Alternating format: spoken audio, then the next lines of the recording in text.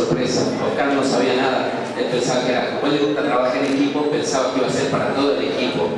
Pero realmente lo engañamos. Es un ejemplo, un ejemplo de vida. En Bahamas recibió la llave de la ciudad y al principio no entendía porque no sabía mucho inglés, no entendía qué pasaba, hasta que le dieron una llave así, decía, acá tenemos Salteño que es campeón del mundo, y reconocido en varias ciudades y menos en Salta, o sea que esto te lo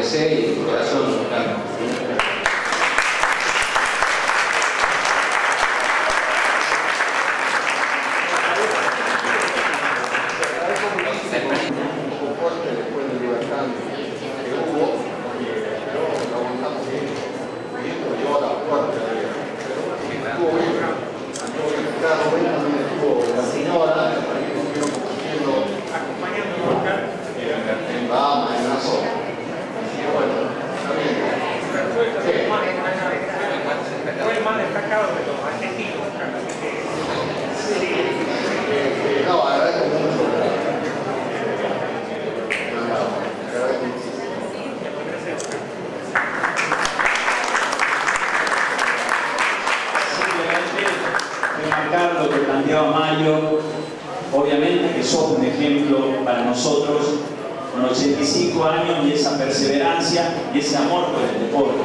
Simplemente quiero comentarle a mis colegas concejales que en realidad Oscar está un poco apurado porque tiene que ir a seguir practicando deporte con 85 años, no quería perderse el entrenamiento que tiene 18, un partido de tenis, así que realmente un ejemplo, no solamente para nosotros, sino fundamentalmente para tantos chicos que viven en esta querida ciudad, que tengan en Oscar un ejemplo de vida.